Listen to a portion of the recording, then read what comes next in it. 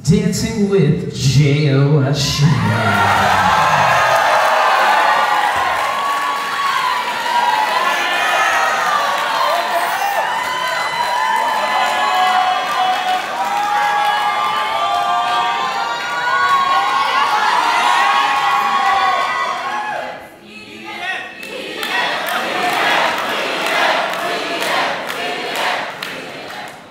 Could be dubstep, could be, it's the whole genre. It could be house, dubstep, trap, who knows? Who knows? I don't know.